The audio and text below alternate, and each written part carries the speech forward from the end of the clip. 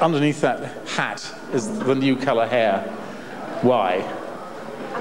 Well, it was simply an accident and the only way out, but it's going to be changed soon. What do you mean? You picked up your wife's hair bottle or something, did you? Thought it was shampoo. No, it was simply the hair cutter. I don't want to use the word, but made a mistake.